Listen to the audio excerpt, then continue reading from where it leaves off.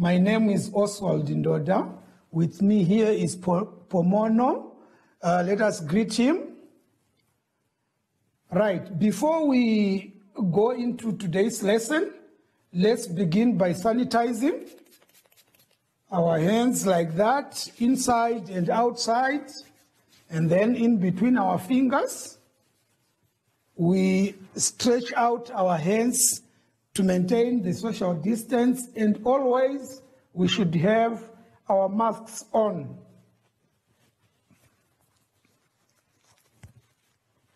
Right, today's lesson is going to be on diminutive nouns.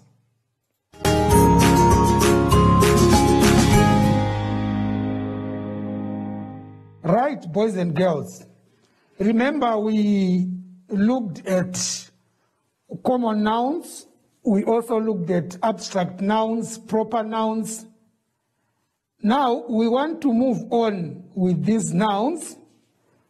Like I said, today's lesson will be on diminutive nouns.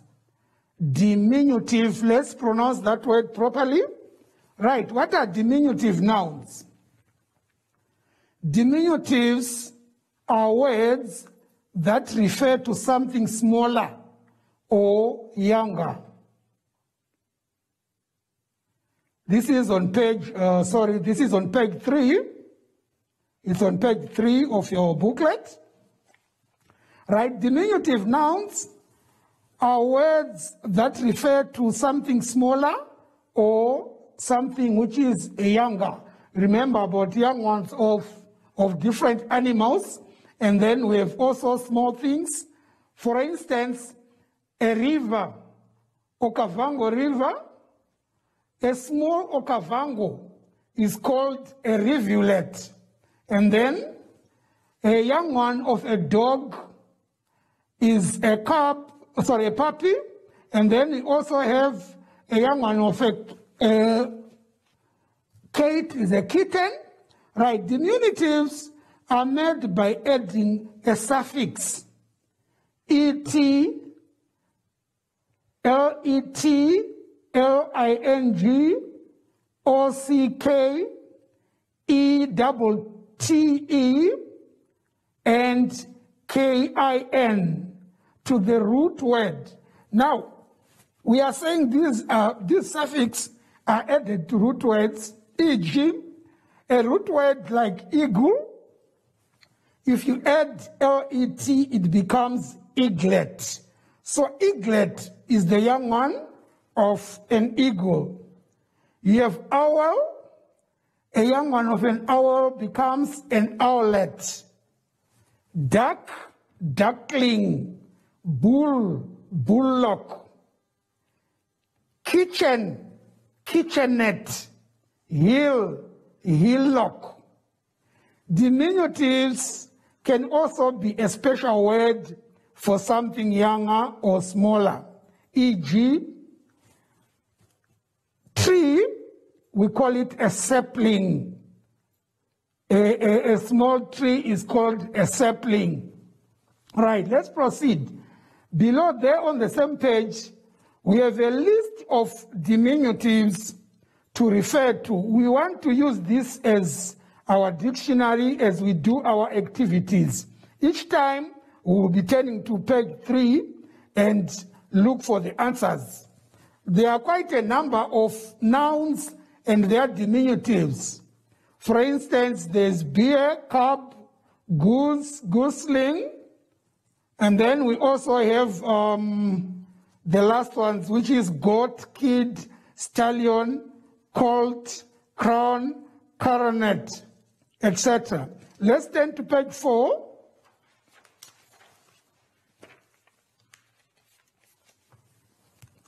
Right, on page four, diminutive words with the suffix et and the suffix let, L-E-T.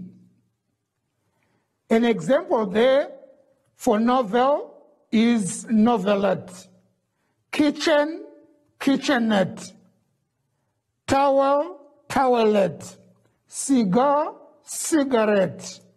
And then on the other side, we have pig, piglet, book, booklet, leaf, leaflet. And lastly, droplet.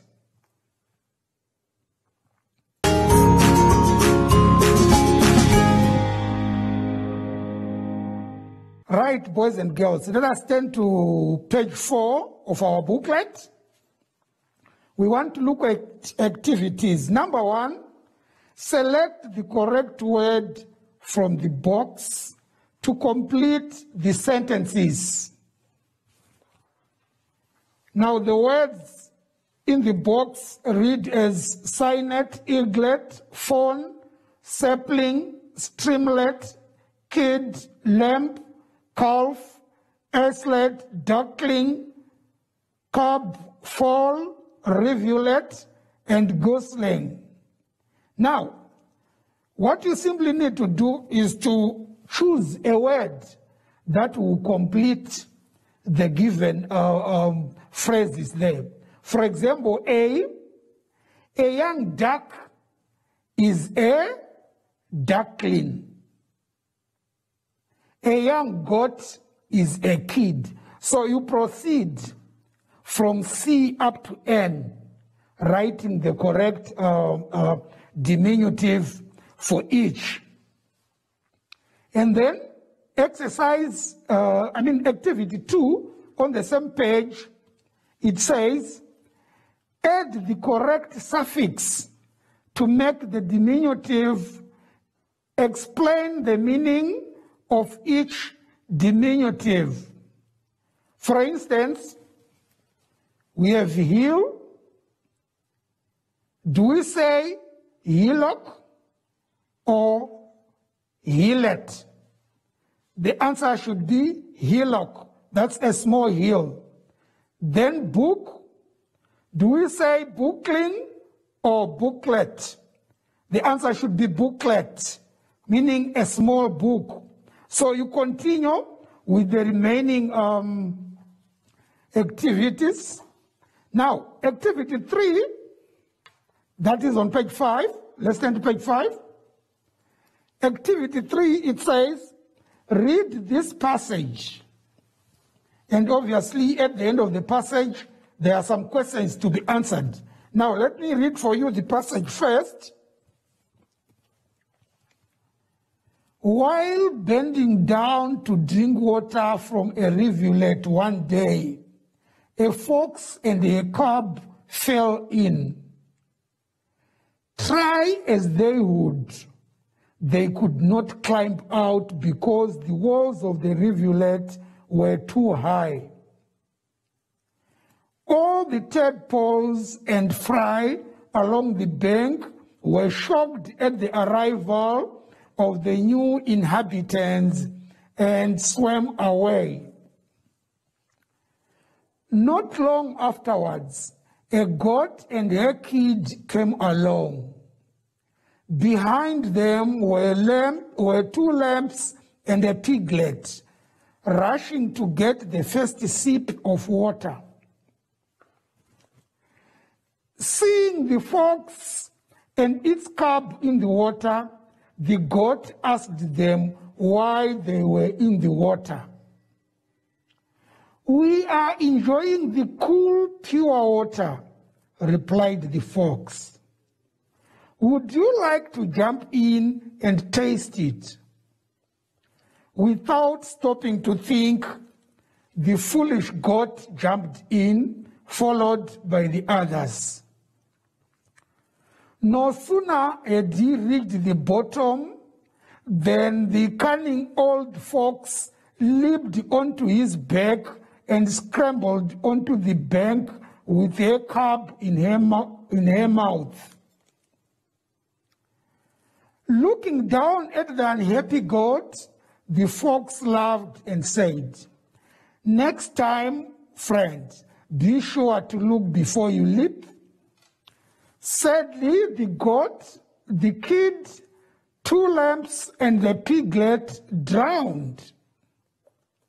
First to notice the free meal was an elver followed by tadpoles, fry, and terrapin hatchlings. They all had a good meal. Right, boys and girls, that's how we should read. Then we turn to page, um, page six of the booklet, where we have the questions. You answer those questions from A to D. For instance, the first one would tell you, underline the diminutive nouns in the text. So if you go back to the um, passage on page five, as you read through, you'd see quite a number of diminutive there's diminutives in there. Then you underline. Yours is simply to underline the diminutives. And then B says, write these words in the diminutive noun column below. Use each diminutive only once. Right, so I would like you to do that exercise. And before that, ah, okay, that's fine.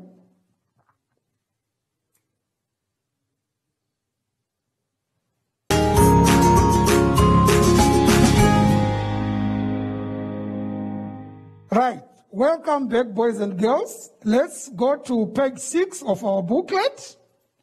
It says, uh, activity four says, complete the following using diminutives. A small hill is called a hillock. A condensed book is called a booklet.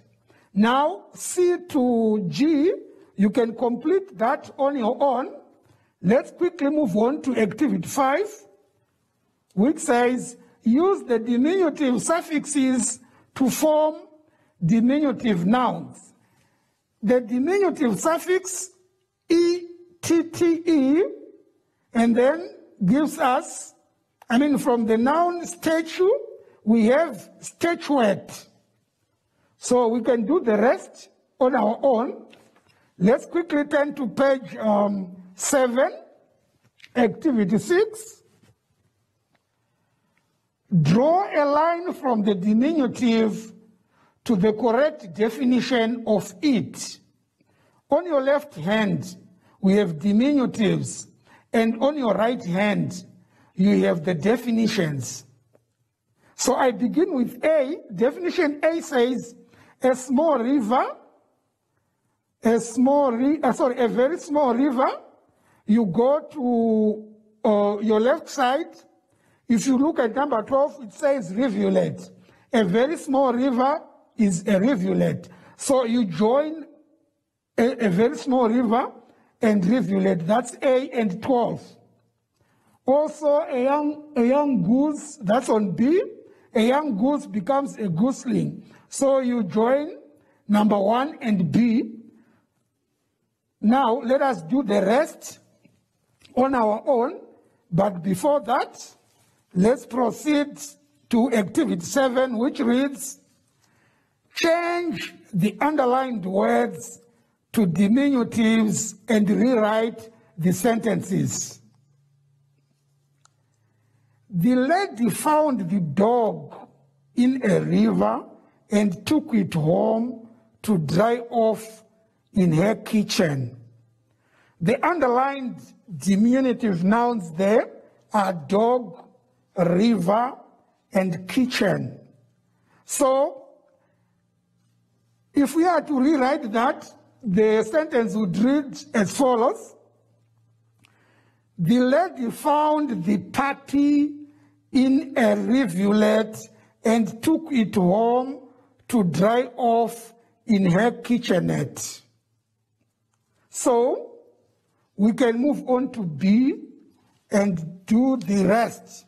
Now, on uh, page uh, 8 of our booklet, there is a crossword puzzle there. There's a crossword puzzle where we have um, a word being on our right, right bottom or bottom right.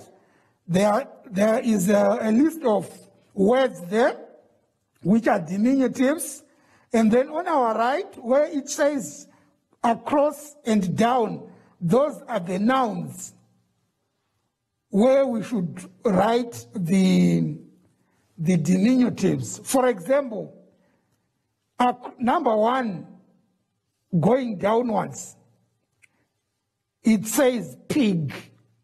So you go to number one, you find the diminutive of a pig, the young one of a pig. That should be a piglet. So if you write from number one going downwards, piglet should fit in those boxes. Across, that's number two, we have got. Now, the diminutive or the young one of a goat is a kid. Those are three letters, they should also fit across there. So you continue from number one, two, up to the last one, which is number 20, writing the, um, the diminutives.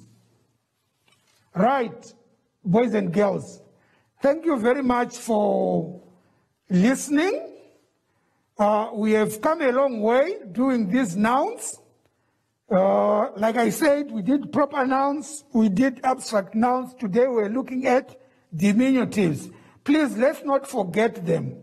Right, but before I go, always remember to sanitize. You squeeze your hands inside like that, outside in between the fingers. Stretch out at least ensure a meter apart, and then you put on your mask. Thank you very much, boys and girls. We will meet in the next lesson. Bye bye.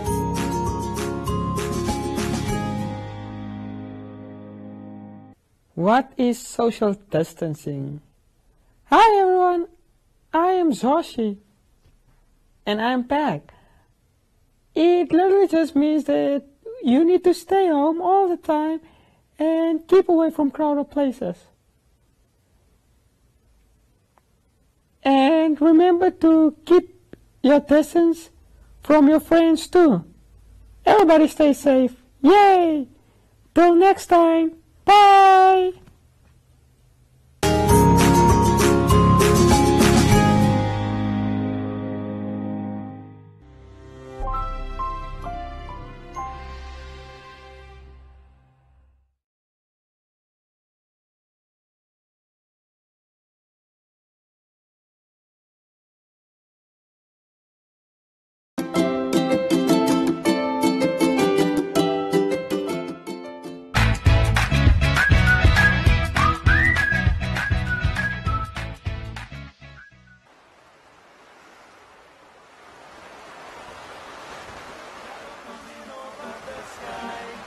Black sunrise, black sunrise, always gonna be a surprise, cause we don't know.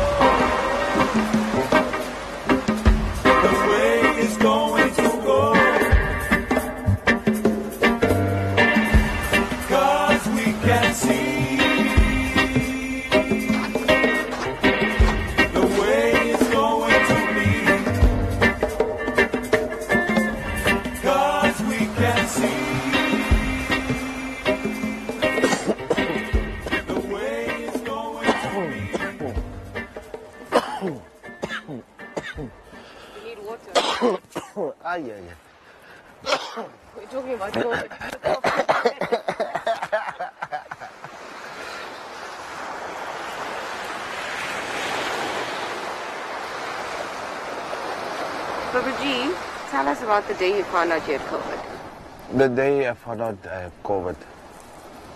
It was a difficult day. I didn't understand how I got COVID because I was always covered, I was always with my hand sanitizer. It came with my wife. And that whole day, I was thinking, what's gonna happen to me? I'm gonna survive. My kids, I was losing my tasting, smelling. There were some days I will test my taste buds and put like four or five chilies in my coffee. No ways. I didn't taste it. So did you also lose your appetite in the process? It was very funny. In the first week, no, I was chowing. I was chowing like I will wake up like midnight and make for me something. But after the first week, then the appetite was gone. When you go to bed, your body is also automatically switching off. And that's a dangerous time for COVID. It's like glass pinching you, cutting you inside your lungs. Then the heart was pumping like like a rabbit pumps. You are losing lot of fluids at night. Is that through fever or what? Yeah, it's through fever.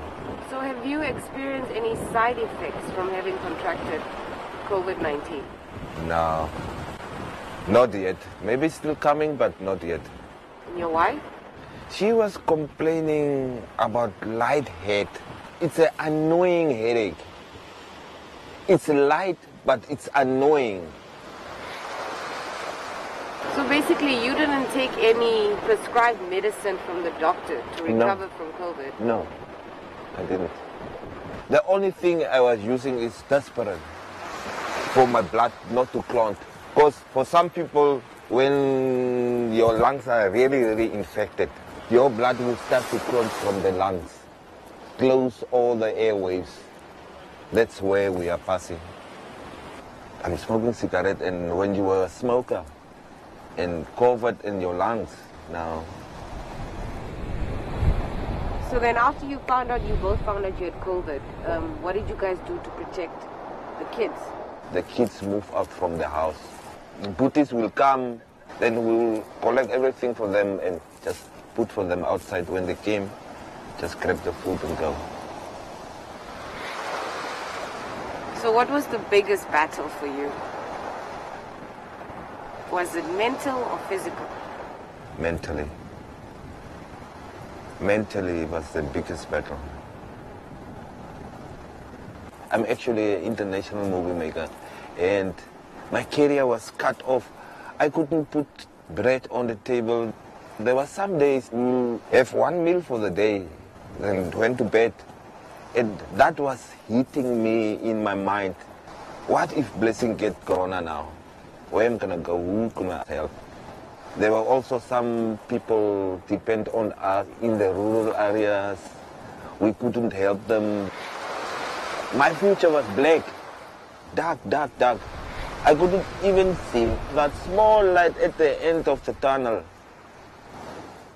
One day, my daughter decided now, I want to see my father today. And I just told her, yeah, she can come. The first words was, Daddy, I was praying for you yesterday night. Don't worry, Corona will go back soon. And I was asking, from where? From Namibia? She said, no, not from Namibia, from you. And you are not looking good. And she was actually heartbroken. Until today, she hates Corona. From there, then I was like, oh, okay. If the smallest one is saying this, why I'm not picking me up self and do the right thing and get rid of this thing?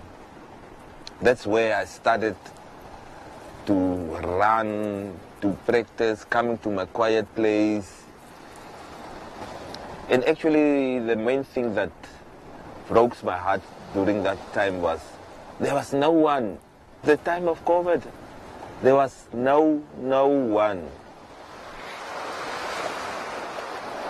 So can you tell us where we are right now? We are at my silent place. I've call this place my silent place.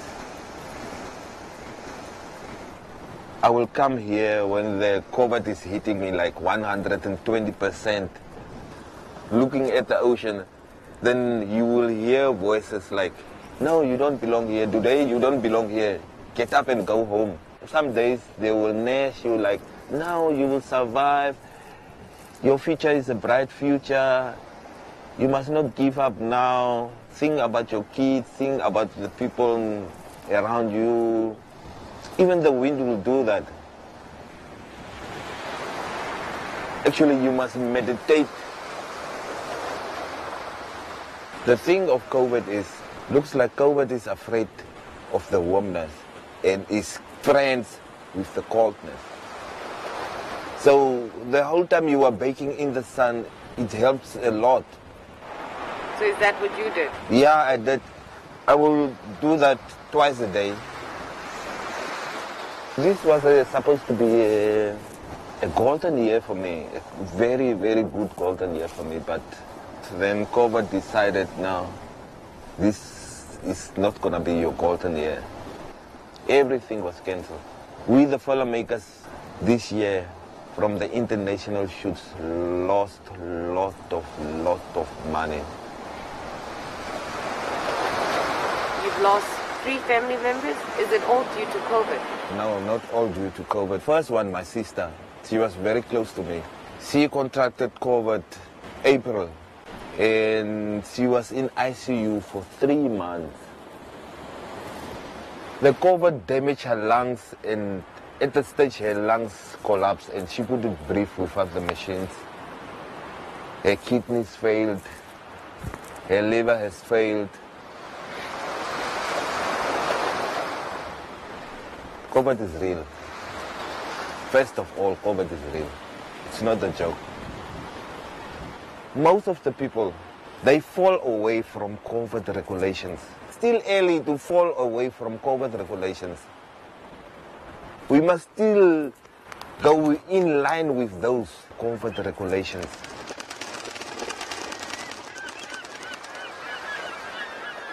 And how long did you say it took you to recover? Three weeks, 21 days. What must somebody do to change your mind from that negative perspective to that positive? Positive. COVID, no job. Very dangerous. There was one day I just decided I'm gonna take a rope, go to the jetty, sit around there, and after all I will hang there by the jetty. The time I arrived here there was no wind, out of nowhere. The ocean was like angry, angry, and it started to get cold. And I was like, but it was just nice weather. Then I sat down. Then the universe will talk with you, the wind, the sun, the ocean. That's the main thing of COVID. If you don't save yourself, no one will save you. And we must always appreciate what we have around us. That's the main thing in COVID. If you don't appreciate what you have around you, no, you will lose your head. Smile, smile, smile. When you walk with me, I just want you to smile, smile. My industry and what I've done with my hands in Namibia, it's going all over the world and here you are, Papa G, you want to quit? Now, For me, Namibia. Smile. I'm excited for 2021. It's not gonna be the same like 2020 now. I'm making back in the groove.